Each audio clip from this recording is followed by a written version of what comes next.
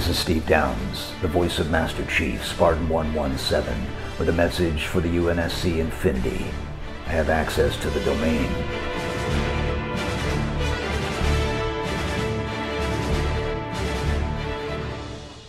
Hello once again YouTube and welcome back to The Domain. Now today we have a very special video indeed. We've got both of the UNSC ships, the signature series of Mega Bloks, Mega Construx, lined up next to each other. We're going to compare the two and ask which one is the best? I know that might seem like an obvious answer, but I'm going to weigh up a lot of different things. I'm going to be very fair between the two. Like, I'm not going to compare new and old articulation that much, but I'm going to compare the ships, the price points, the accessories, the figures, everything. And you can let me know in the comments below which you think wins best ship. Alright, so we have the Halo Forward Unto Dawn. The very first signature series set in the Mega Bloks line, set number 117 in a very appropriate number there. This thing just defined my childhood. It was the pinnacle of my YouTube channel, the greatest video I made. I was so proud to own this set back in the day. It was insanely difficult to get hold of even from release there were rumours that only one was sold per Toys R Us in the UK, so it was a real difficult set to get. And really, I've never stopped being in love with this thing, never stopped appreciating it. It's always been pride of place on my collection.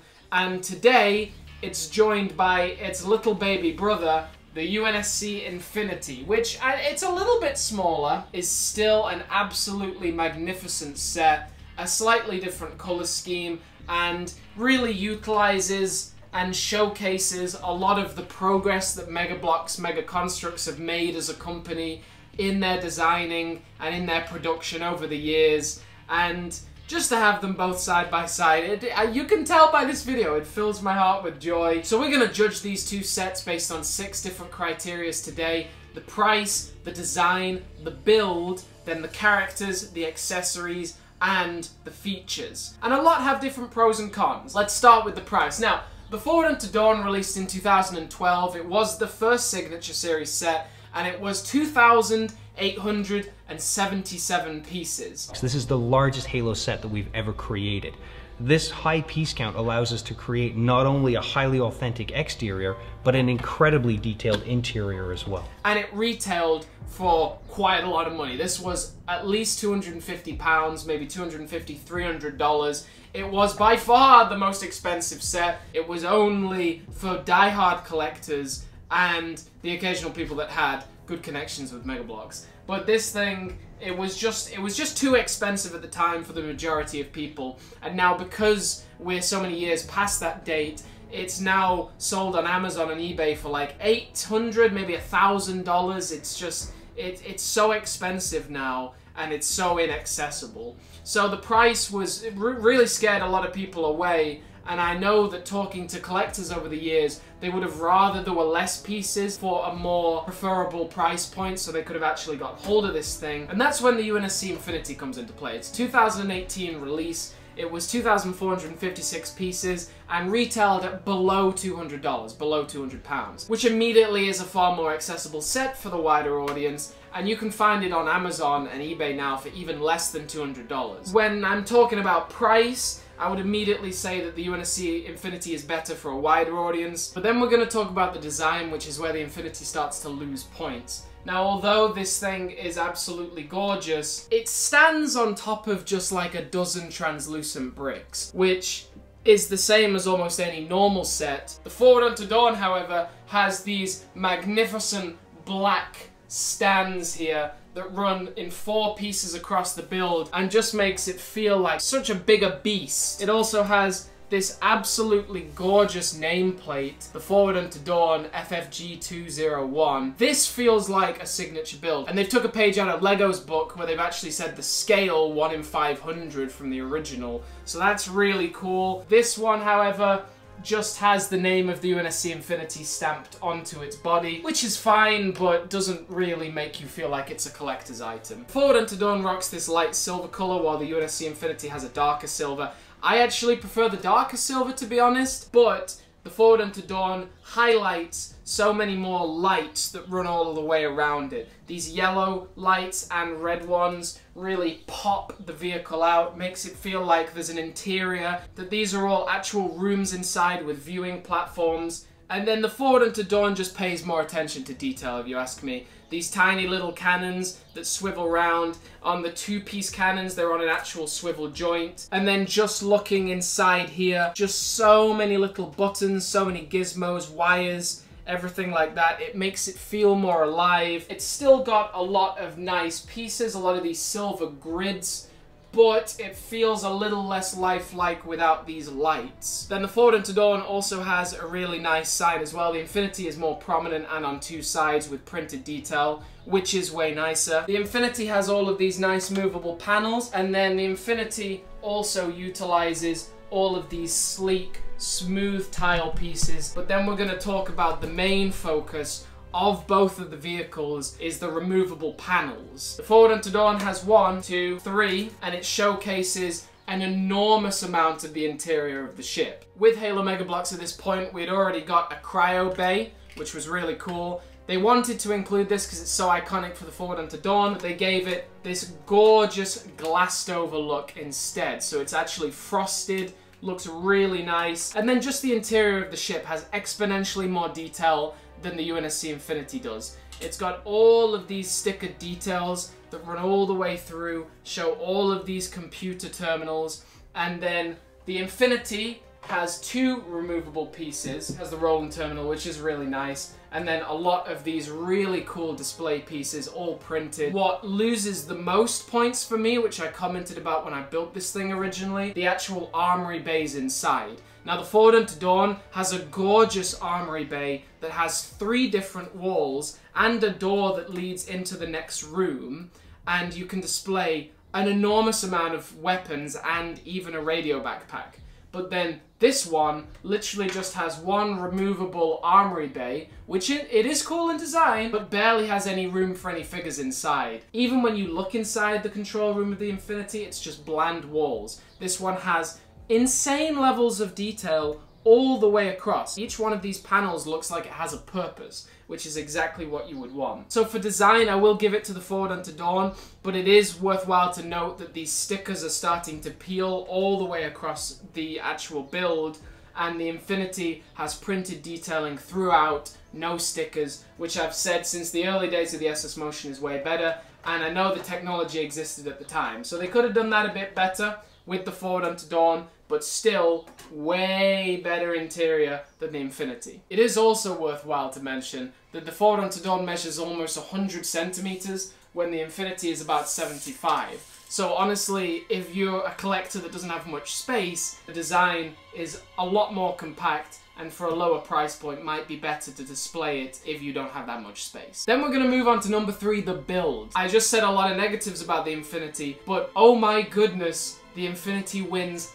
hands down when it comes to the build. I took about four or five straight days to build the Forward Unto Dawn, and the organization of the pieces was like mind-numbing, especially when you have absolutely tiny pieces that just get lost. And I even lost some of these parts when I first built it and had to get replacements. So the Infinity comes in four boxes and each box has numbered bags. And you will only ever be using three numbered bags at most. That cuts the build time by like a million percent. My girlfriend and I built the Infinity in four and a half hours. Just saying that blows my mind and showcases the engineering and the progress that Mega Construx have made as a company to be able to organize the production line to make those buildable bags that just cut the build time exponentially. So in terms of how easy it was to build, Infinity hands down, even the Forward Unto Dawn instruction manual had very bad discoloring,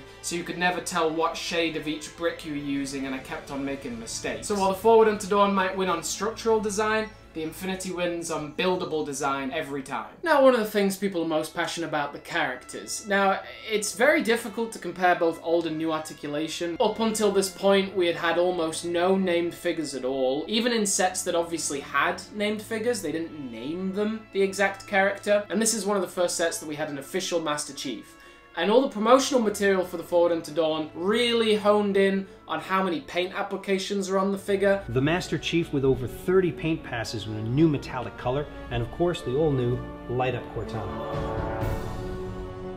Like if you compare it to the Cryo Bay Master Chief, it's apples and oranges. He has black highlights like all over his body. His visor is more detailed. So the Master Chief at the time was by far the best one we had, and all the characters were probably the most detailed we'd ever seen in Mega Bloks. The Zealot I was never entirely impressed with. I mean, the purple applications on his helmet were really cool, but then the commanding officer and the engineer were both exceptional. Comparing the two AIs that we got, the Roland is also really cool. When we first got the elephant, they gave us a Roland AI that was just a Cortana print. It also comes with the Halo Heroes Lasky, but this one's on a really cool table. Nice printed detailing on the keyboard. Then we're talking about the Master Chief. Now, this new articulation chief is awesome. It's got a really cool lime green color, which I so prefer over the Halo 5 Guardians, like dark green colors. It's got a black visor that's exceptional. Really, when you compare it to this one, it does not have paint applications on its shoulders or a lot of other places like on its feet. Maybe not a signature series figure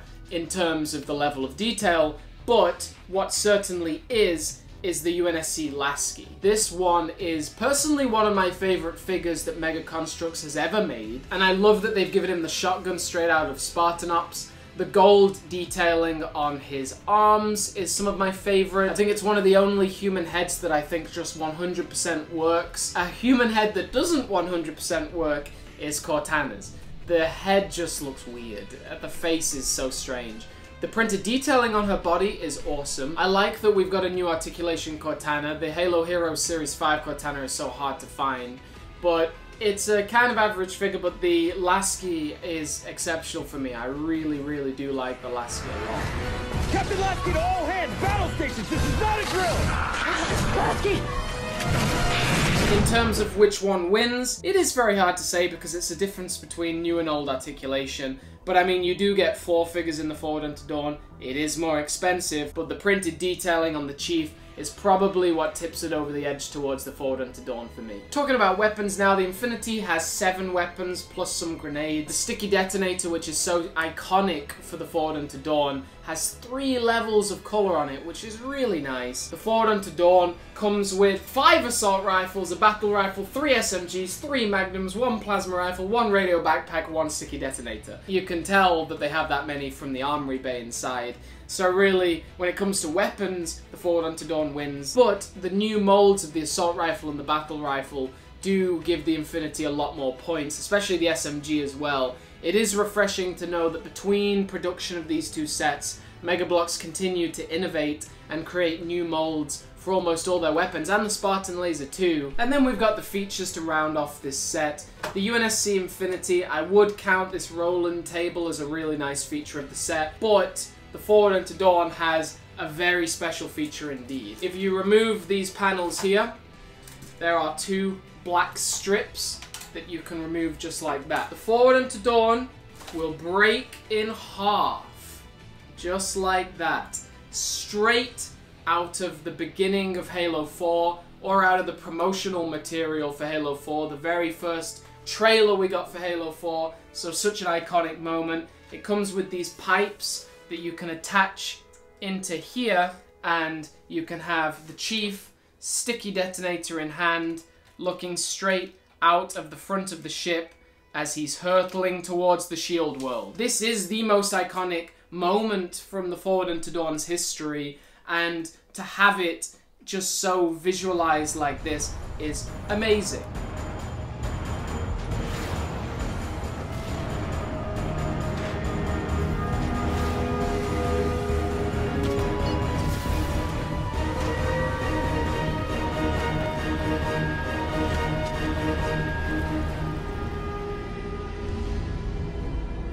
I would have also kind of liked to see them include an Arbiter in the front of the ship because, you know, he makes it back to Earth. But this is just such a badass accessory, such a cool thing to just include. They really didn't need to do it, but they went out of their way to do it. That's so cool to have him just exposed at the front of the ship. Ah, this is one point, as you can see. that the Infinity does win out on, these poor stickers just get crumpled and die. So guys, when I when I started making this video, I really thought it would be a little easier than this. I thought the Forward Unto Dawn would be the clear winner, but the UNSC has a lot of accessories and a lot of features that I do think puts it almost in line with the Forward Unto Dawn. Not necessarily in line with it, but when you're talking about the price point and talking about it being a more accessible set for a wider audience, there are some benefits to the UNSC Infinity. Please do let me know in the comments below, guys, which you think should be the victor. And this video would not have been made possible without the awesome team at World Trader for Mega Construx. These guys hooked me up with the UNSC Infinity, made all of these videos possible, and for the next two days, they are giving away a UNSC Infinity. We're going to do a live stream draw for the winner on the 25th. Just having these sets next to each other, it, it is an absolute joy. The two ships are so intertwined in Halo lore, as the Infinity is pretty much the pass-on ship from the Forward Unto Dawn in Halo 4. Both sets have so much to offer. While the Forward Unto Dawn is far bigger, it is far more expensive, but some features make it feel more like a Signature Series set, but the Infinity has some real bells and whistles that you can't ignore. The Lasky and the Chief are awesome. The Roland table is cool. I would have liked to see a bigger armory bay, but the outside of the ship, these iconic silver rods and all the printed detail, wind the set together with all these smoothed out edges that I don't think were achievable back in the Forward Unto Dawn days. Other than being sent on a wonderful trip down memory lane, thank you very much for tuning in today. Please support both myself at this weird transition time where I'm moving to Hong Kong in the next month, and also support World Trader for Mega Construx for putting this together. They are the number one place to get some Mega Bloks online. They are also doing giveaways all the time. They just gave away three sealed Spartan War Masters, and they have loads more giveaways in the future as well. This was another video with The Domain. Thank you very much for tuning in today. And the Forward Unto Dawn or the Infinity, Forward Unto Dawn Infinity, which one's signing off? It's got to be both of them the Forward Unto Dawn and the Infinity are signing off. Shh, bring the camera closer. Shh.